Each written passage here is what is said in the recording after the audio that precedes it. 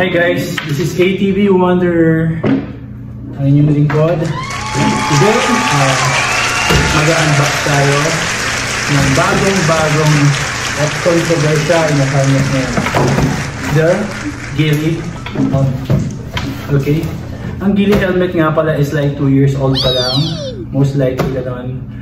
And, and design niya is uh, from Italy kaya medyo talagang updated modern design talaga siya at saka yung quality yung performance niya is of course eh, maasahan natin in terms of durability. And of course the design talaga. Actually doon ako na na hook up nung nakita ko to sa YouTube yung uh, uh, which ko binablog to nila sweet potato. And talagang sobrang and marami pang iba eh. Kaya talagang na-intrigue ako at saka nagkaroon ako ng interest for my second helmet. But before that, pakita ko muna pala sa inyo yung aking first helmet. This is a motocross helmet kasi nga ATV ang ginagamit ko. So, using a motocross helmet. Anyways, back tayo dun sa sinasabi ko kanina about this unboxing. Okay, hindi natin patatagalin. Okay, unang bag. Ang ganda na lalagyanan niya.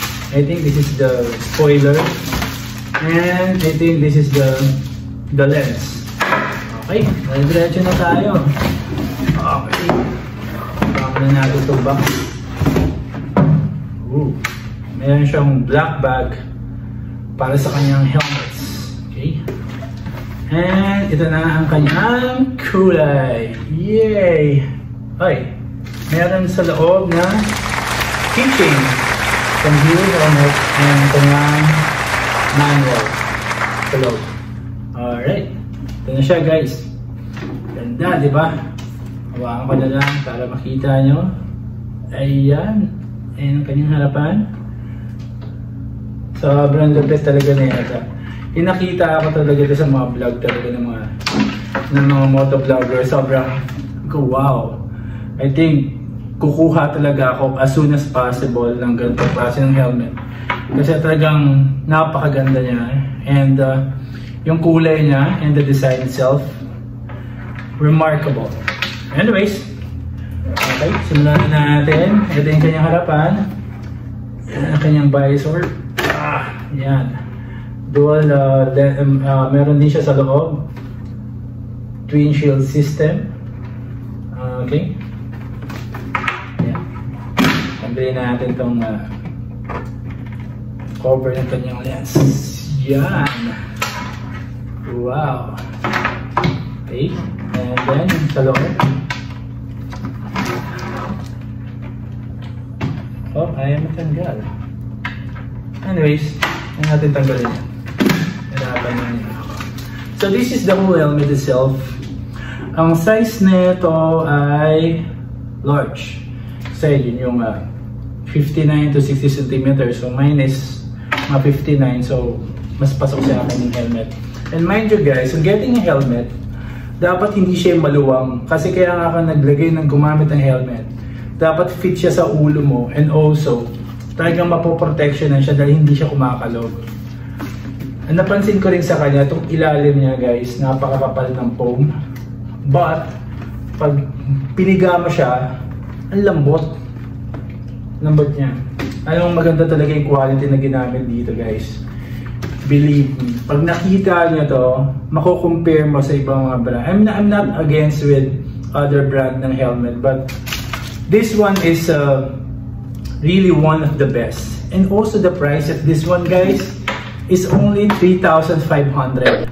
But if you want the even mga design, may mga graphics design, parang 3,700 yon kaya, of course, ganun talaga, if you want some design, may yung additional payments or uh, mas mataas siya. Okay? So, ito muna yung first bag muna tayo. Ang laman ng first bag ay, I think this is the Vita. The spoiler, yeah. Spoiler. Meron siyang bluish spoiler and ang dark, dark gray spoiler. So, ano sa inyo na guys kung gusto mo ng ito or this one. Pero I think uh, medyo bluish kasi yung color nitong camellia natin, di ba? Astig, di ba? Astig yung kulay niya. Meron siyang vent dito sa taas, is dito sa, sa mouth vent niya. Yes, dito nilalagay. Actually, dito nalagay sa likod yung yung DOTC niya, yung Certified Product Safety na how uh, how good the helmet is na test ba ito ng um, uh, what you call that talagang magiging safe sa gagamit sa kanya. So it has its own certified. So actually iba mga information about this one. Makikita niya naman sa ibang mga nag-vlog na neto eh. so hindi ko na sobrang i-detalye pa. So okay. This is the visor. Ah, spoiler sorry. Spoiler. Sa inyo paano ikabit ang spoiler ay igabit mo lang yung dulo sa butas, ipasok mo sa butas. Ayan. Alright. Nakapasok na, nakapasok na. Ayun.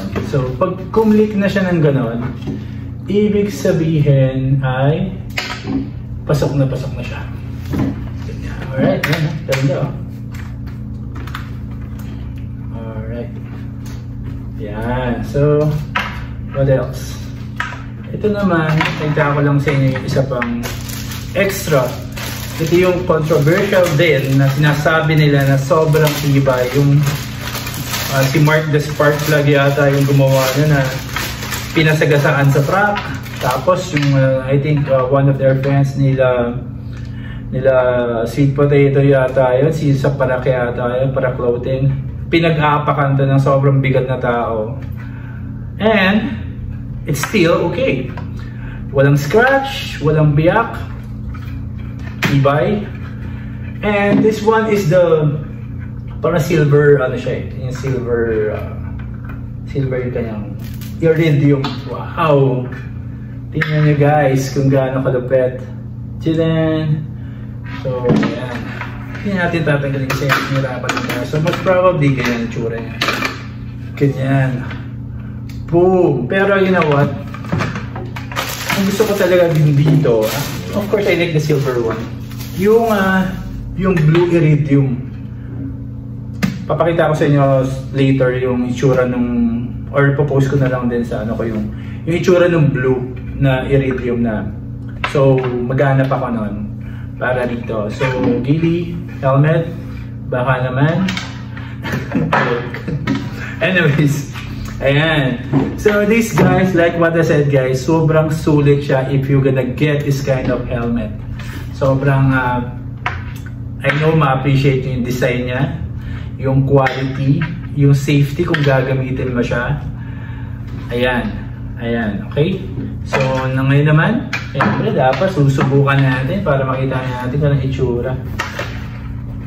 Before natin subukan nga pala guys, itong ilalim na this one is rubberized. Ito rubberized, pinakailalim niya. Kaya swabing-swabe talaga. Yung shin guard niya, ito dito, hindi papasok ng hangin or any hilkabok or tubig. And also the noise control, lalo na pa nagbablog ka. You have definitely gonna put your microphone under, under underneath. So medyo malilesen yung sound kapag may cover itong ilalim na natin. So, yeah. Okay. Subukan natin.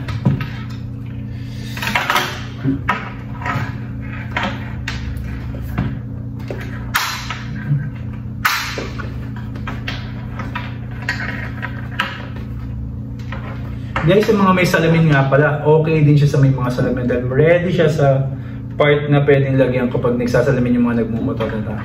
But ako hindi pa naman ako nagsasalamin. So, I don't need Yeah. Wow.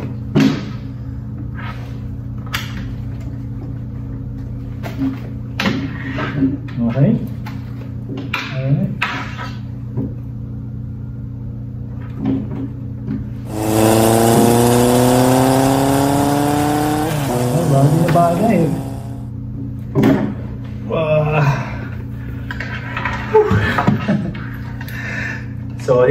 excited na talaga akong gamitin siya pag nag, uh, pinag-ride ako ng motor.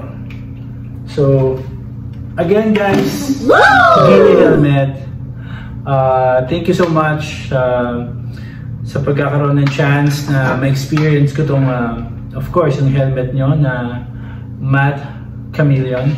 Pero I think I like also the the white one. Eh. Ang ganda rin ng white. Yung glossy nito, guys, sobrang hirap makakuha ngayon kasi ang ganda, ang ganda din. But uh, for me, this one is good enough. Alright, so ayun. Okay. Yung alam mo sa loob, hindi ko na tinanggal eh, kasi medyo medyo mendoksay pa eh. So, yan yung tsura yung salamin sa loob. Parang if you want to open this one, you can use this one. Okay, Bluetooth ready and everything. So, okay. So, hindi yun yun. Yun yun, guys. So, again, guys, thank you so much for um, bearing with me with this wonderful opportunity to to share to you how beautiful, how uh, classy, and uh, what what uh, my own opinion about this uh, this helmet to share with you sa mga manonood sa atin. And for me, I love it. And uh, I hope you can try this one also one day na I'm sure hindi kayo magsisisi. So, that's it guys. Thank you so much for watching. God bless.